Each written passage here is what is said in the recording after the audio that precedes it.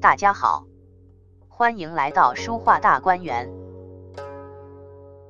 今天给大家介绍唐代李思训的《江帆楼阁图》，卷本设色，纵一百零一点九厘米，横五十四点七厘米，收藏于台北故宫博物院。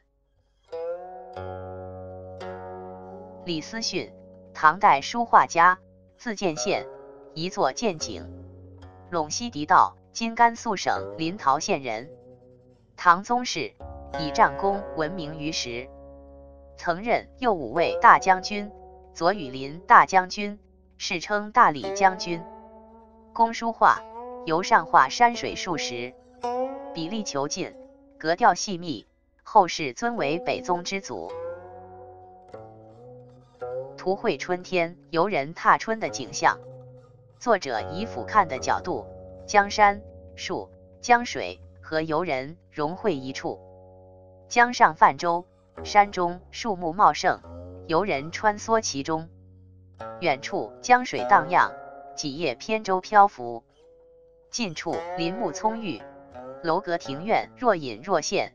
坡岸上游人穿行，其意境隽永其伟，用笔遒劲，风骨俊俏。色泽匀净而典雅，画风精密严整，意境高超，比例刚劲，色彩繁复，独树一帜。这幅画就介绍到这里，请欣赏完整作品。